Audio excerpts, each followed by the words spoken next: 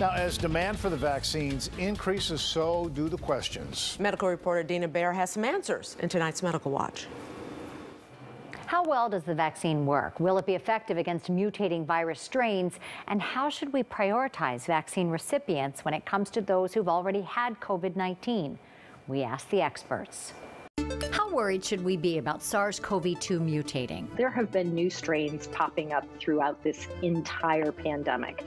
And the good news is, is this SARS-CoV-2, this virus, doesn't change as rapidly as some other viruses. Some investigation here at Northwestern early on showed that in Chicago, when we had our first wave, we actually had three different strains. What's been concerning is that the UK strain um, has a, a big spread associated with it. It really does look like that version can spread more easily. Will the current vaccine offer lasting protection against a changing virus? I will say I think it will have some some protection. Whether it will have the same full protection, we don't really know yet. If we can just get lots of people vaccinated, then we reduce the ability for it to spread. And so that's why it really does take on a new urgency of let's just get people vaccinated. Are vaccine makers addressing new strains?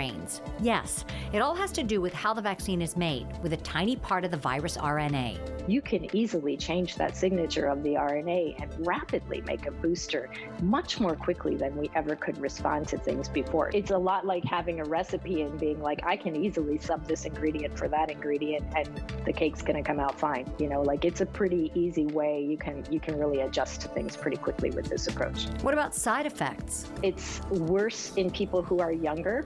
And um, I have to say, I got my first shot and my arm hurt for a couple days. I couldn't lay on that side when I was sleeping. And then I got my second shot, and I will tell you quite honestly, I was pretty wiped out for a day.